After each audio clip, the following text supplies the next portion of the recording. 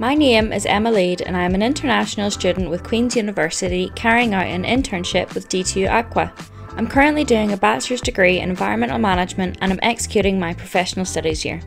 I found the placement while looking through our job bank back home in Northern Ireland. The internship jumped at me because I've always wanted to be a part of conservation efforts and have a keen interest in marine systems. Plus, it wasn't like any other opportunity that was open to me. So, after some consideration, I jumped on a plane at the start of May and made my way to Denmark to join the BAREEFF team. BAREEFF is one of many projects launched in Denmark to try and restore lost reef systems. Rocks that would have formed natural reefs have been removed from Danish waters to help build and make way for harbours around the Danish coastline. At least 55 kilometres squared of rocky reefs have been removed. This has led to some serious implications on biodiversity as it removes some vital habitats. The aim of BAREEFF is to restore part of the area of the east coast of Samsø. It looks to create a 100 metre long reef built with rocks from a Norwegian quarry with the hopes of increasing the biodiversity of the surrounding waters while also providing the potential element of coastal protection. The reef can provide a method of coastal protection that will work in tandem with boosting biodiversity. If it is successful in providing protection, it will do so by breaking up wave action and decreasing erosion levels along the coastline, providing protection for the properties. Reef restoration is a useful tool for inner Danish waters, making it ideal for Samsø.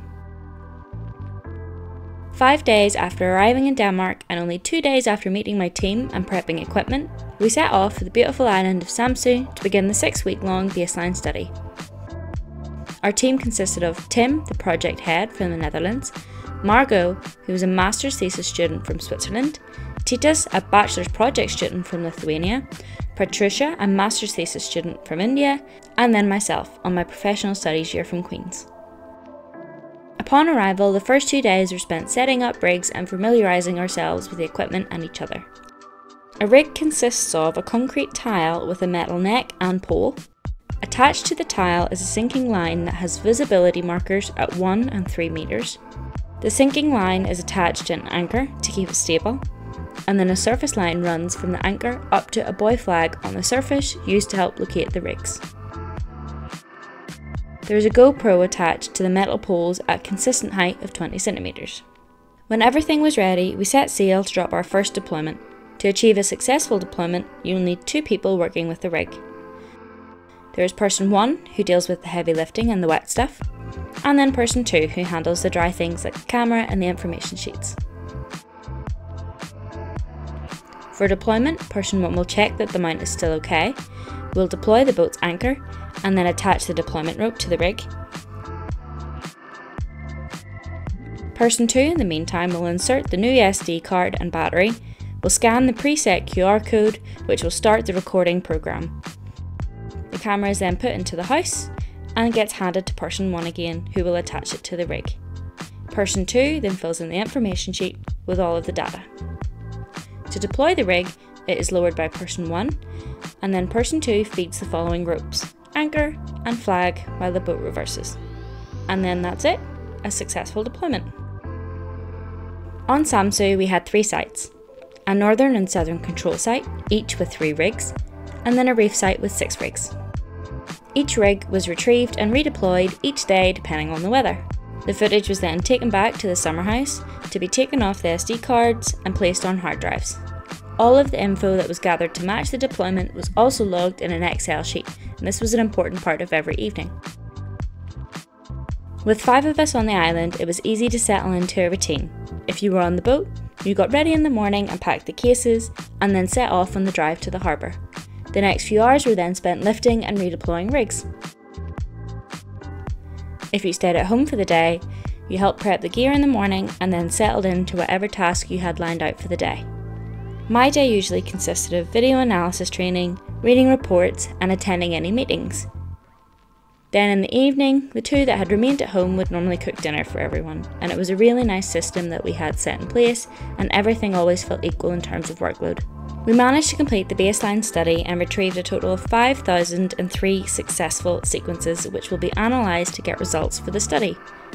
A successful sequence is regarded as a two minute long clip that falls within the set out obstruction or visibility guidelines. For us, this meant that there could be no more than 10% obstruction in any of the clips. If it happened that there was more than 10% obstruction, or there was an issue with the rig, these clips were still kept but were just placed in a folder named Not for Analysis. We spent a total of five weeks on the island working pretty much non stop. It was tough work but enjoyable, and the people I worked with made it such a rewarding experience. Plus, we had amazing weather the whole time. We often took time to ourselves in the evening to play games or watch movies together, and I often took myself off for an evening swim or walk. When you were on the island, it was important that you made sure you had a good work life balance so that everything stayed enjoyable, and I have so many highlights from my time on the island. Baseline studies are important stages in projects. This type of study will employ the BACI method, otherwise known as before, after, control, and impact. The baseline will show the before data on the control and impact sites.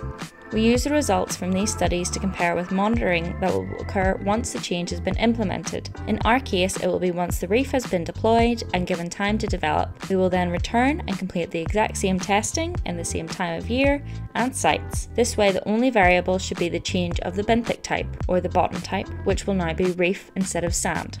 With the new after data and the original before data from the baseline, we will be able to determine the effect the reef deployment will have had on the local biodiversity and fish populations in the area. Coastal conservation and protection is an important topic worldwide, and our project on Samsø was no different. It managed to gain both national and international interest. We were visited by the Danish TV service DR and the British TV service BBC.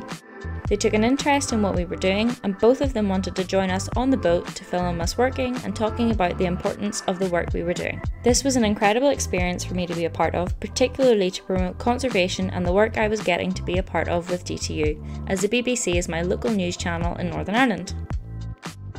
Projects like this are possible thanks to funding from investors. For BAREEFF, we can thank Velux Foundation and Vattenfall. Investors are so important to the project as without their contributions, many projects like BAREEFF could not happen.